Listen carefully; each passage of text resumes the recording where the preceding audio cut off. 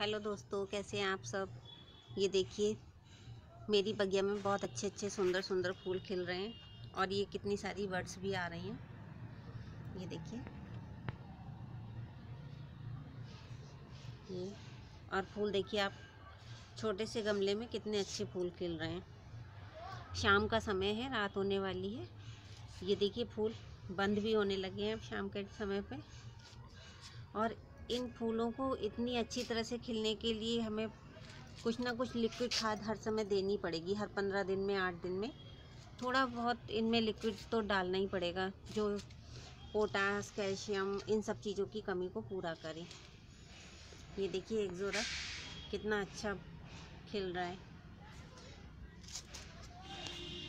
बहुत सुंदर पिटूनिया, एक जोरा सभी तरह के फूल, बैंजी, बहुत प्यारे प्यारे फूल खिले हुए हैं। देखिए दोस्तों, ये है जो मैं इन फूलों की अच्छी ग्रोथ के लिए इसमें खाद डालूँगी।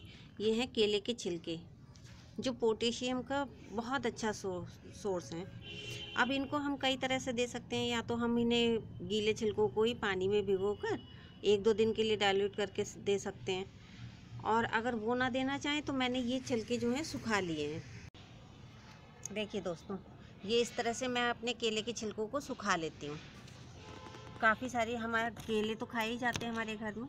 तो मैं ये जितने भी खाए जाते हैं, छत पे ला डाल देती हूँ और ये सूख जाते हैं। और जब ये सूख जाते हैं, सूखने के बाद मैं इन्हें इस तरह से थोड़ा मोटा मोटा पीस लेती हूँ मिक्सी में। पीसने के बाद ये कंडीशन है इनकी। अब इनको हम क्या करेंगे, अपने हर पॉट में। अब जैसे ये पिटूनिया है, इसमें मैंने थोड़ा सा इसकी मिट्टी को,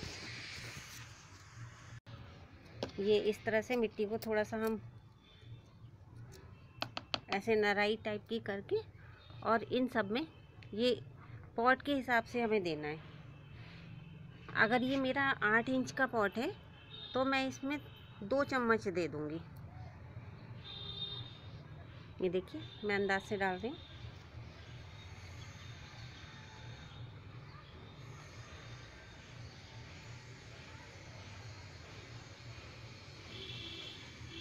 ये मैंने सब तरफ़ इसको थोड़ा थोड़ा डाल दिया और इस तरह से मिट्टी में मिक्स कर देंगे।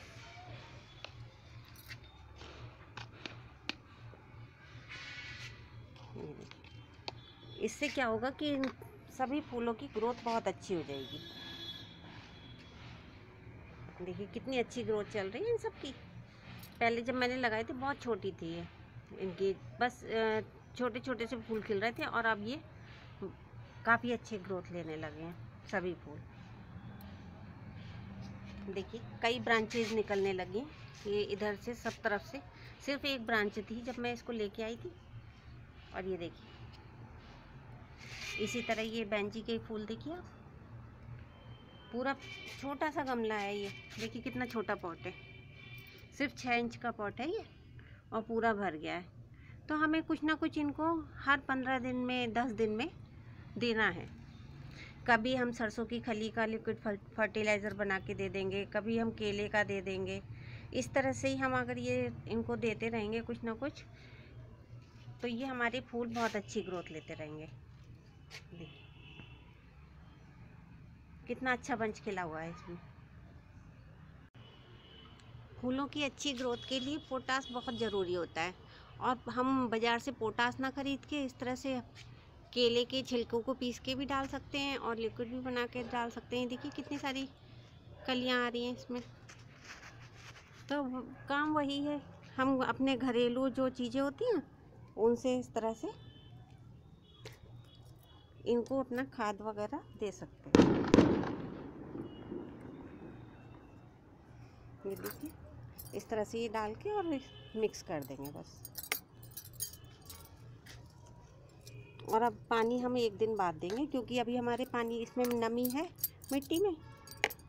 बस थोड़ी नमी होनी चाहिए, तभी हम इनकी खाद को ये इस तरह से दे देंगे। और ये गुड़हल है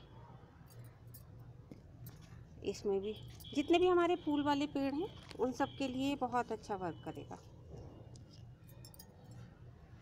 ये देखिए।